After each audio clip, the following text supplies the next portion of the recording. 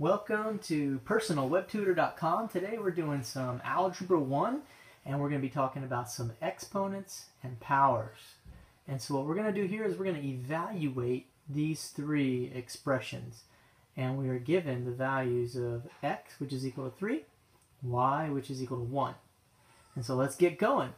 The first expression here, we're going to simply substitute our variables in uh, this expression. So we're going to substitute x, we're going to substitute y,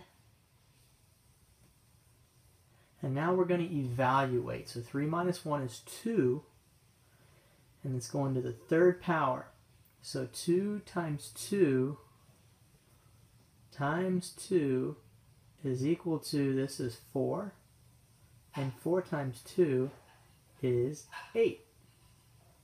So that's our answer for the first one. The second one, it's looking a little bit uh, a little bit different. There's some higher exponents, but what I wanted to show you is sometimes you have the exponent inside the parenthesis, and sometimes you have the exponent outside of the parentheses.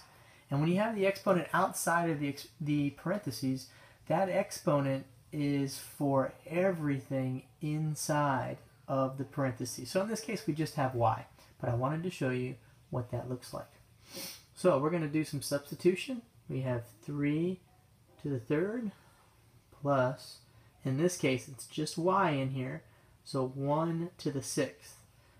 So let's evaluate 3 times 3 times 3. I know 3 times 3 is 9, times 3 is 27, and that's going to be plus 1 to the sixth power is 1. Remember, you can have 1 to any power, and that's going to be 1. Because 1 times itself a bunch of times is just 1. So that is going to be 28. And we have this long expression. This is a polynomial here. So it's got multiple variables of x and y, and we're going to do the same thing. We're going to substitute in our x's and our y's.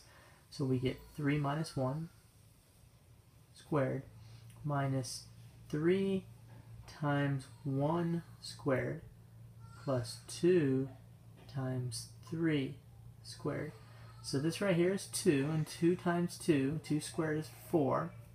1 squared is 1 times 3 is 3. And 3 squared is 9 times 2 is 18. So 4 minus 3 is 1, and 1 plus 18 is 19. And there you go. If you have any questions, just go to personalwebtutor.com and click on Ask a Question. And you never know, maybe I'll do a video with your question. Thank you.